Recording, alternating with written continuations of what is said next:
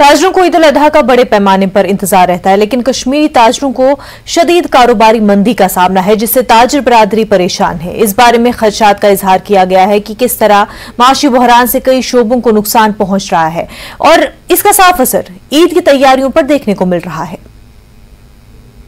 पूरा देख सकते हैं, रोड्स खुदे पड़े पूरा ब्लॉकेज पड़ा है।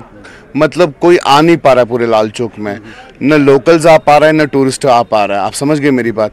चाहे ये खाली लाल चौक का मार्केट नहीं, पूरा ओलहार जितना भी कश्मीर है, कहीं पे भी स्पेशली गन खान जाओ, कहीं भी किसी भी मार्केट में चले जाओ, सभी दुकानदार बैठे पड़े हैं। मगर मैं स्पेशली अपनी बात कहूँगा, जो मुझे पता है ओवरऑल लाल चौक की बात और स्पेशली मक्का मार्केट की बात, जो हम अभी बात कर रहे हैं, मुझे नहीं लगता हम ईद के बाद तक बात कर पाते। ये आपको भी पता है और ये सभी को पता है। इस समय मैं लाल चौक में मैंने जब दुकान का काम, ये फ्रूट का काम चालू किया 1983 में। टिल डेट आज तक मैंने इतना कभी नहीं देखा कि इतनी मतलब जो लोग लोग हैं इस वक्त दुकानदार परेशान हैं। असल में लोगों के पास पैसा नहीं है। इकानमी बहुत कमज़ोर हो गई है। इसके कई सारे कारण हैं। खुले तरह से मार्केट में आ रहा है कि लोग इस वक्त खाली हो गए लोगों के जेबी खाली हैं। तो उसकी वजह तो यही है कि आप इस वक्त देख रहे हैं दुकानदार भी परेशान हैं ग्राहक भी परेशान है वो बेचारा तो खास कर हमारे ईद का समय है। इस वक्त तो लोग ज़्यादा तवज्जो देते हैं बच्चों की खुशी के लिए।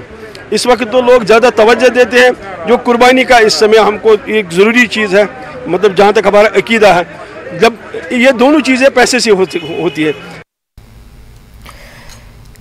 पुलिस ने रवा साल अप्रैल में हुई एटीएम चोरी की वारदात को हल किया है। आठ अप्रैल को गवर्नमेंट डिग्री कॉलेज बॉयज़ के पास कायम एटीएम मशीन को रकम के साथ लूट लिया गया था। पुलवामा पुलिस ने चोरी के मामले को हल करने के लिए खसूसी टीम तश्कील दी थी। एसआईटी ने तीन महीने के अंदर चोरी की वारदात को हल कर लिया। पुलिस ने चोरी में मुलविस बांग्लादेश के तीन चोरों को गिरफ़्तार कर लिया है। चोरों की जानब से सेब के बाग में ज़मीन के नीचे छुपाई गई एटीएम मशीन को बरामद कर लिया। मकामी लोगों ने पुलिस की सराहना करते हुए उम्मीद ज़ाहिर की कि बाकी चोरी की वारदातों को भी पुलिस हल कर देगी। पुलिस के लिए काफ़ी मतलब ये संजीदा मामला यहाँ पर था और पुलिस ने ये तीन माह के अंदर अंदर ये मामा जो है वो हल कर दिया है। तो इस हवाले से पुलवामा में जो अवामी हलकों में काफ़ी पजराइश की जा रही है पुलिस की तो इस सिलसिले में हमारे साथ यहाँ पे जो सोशल एक्टिविस्ट है मुसद्दिक तो इनसे जानेंगे कि कितनी बड़ी अचीवमेंट है पुलिस के लिए और ये मज़ीद क्या चाहते हैं कि पुलिस से कि ऐसे क्राइम पे रोकथाम हो। मुसद्दिक, हमें बताइए कि जो कल जो पुलिस ने जो कार्रवाई कार्रवाई की है तो ये चोरी का जो मामा है, तीन माह के अंदर इसको हल किया गया है।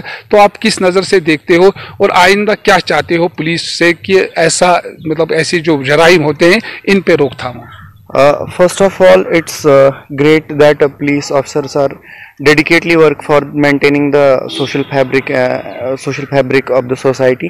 So i congratulate police for cracking such a mysterious blind case जो तीन महीने पहले वाक़ा हुआ एक डिग्री कॉलेज पुलवामा के बॉयज़ पुलवामा के सामने जो एटीएम है उसको चोरी किया गया। बहुत एक ब्लाइंड केस था।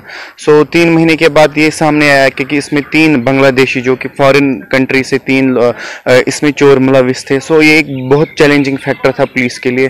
लेकिन जो पुलिस ने इसमें इंक्वायरी की बहुत डीप तक गए और उन चोरों को पकड़ा। मैं कॉन्ग्रेचुलेट करता हूँ ऐसे स्टेप को। सो ऐसी चीज़ें तो जेनवनली काबिल तारीफ़ है। सो और हम चाहते हैं कि जो पुलवामा में इससे पहले भी बहुत सारे ज़्यादा चोरियाँ सा, सामने आ गई कि जैसे हमने देखा कि पुलवामा मेन मार्केट में चोरी है और बाकी इलाकों में भी चोरियाँ हुई। सो हम चाहते हैं कि ऐसी तहकीकत उन चोरियों में भी होनी चाहिए जो मुलविस उनमें ये पुलिस की इस कार्रवाई की काफ़ी सताइश मिली है अवामी हलकों में।